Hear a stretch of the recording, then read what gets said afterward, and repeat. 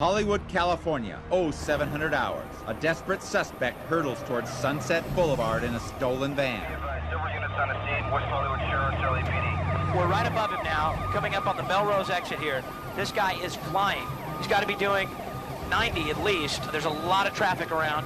Okay, it looks like he's completely boxed in now. No room to maneuver. The police are right behind him, a black and white. Wait, he's pushing through. He's pushing through. It's every motorist's worst nightmare.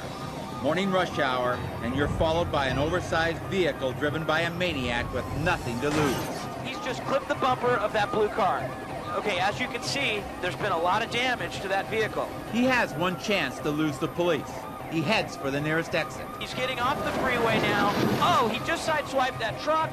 This guy will not be stopped. He's not slowing down for this red light. It appears he'll be trying to get... Oh, and he's crashed. He's crashed. He sideswiped another truck. The chase is probably over now. No, no. He's still going. He's pulling over. He, he's running. He's out. He's out of the vehicle. Suspect is running. Foot pursuit, I'm foot pursuit. There are lots of places for this guy to hide from police. The cops on the ground scour the area, working with the police helicopter that circles overhead. This guy doesn't have a chance. Within minutes, they find him cowering in the bushes.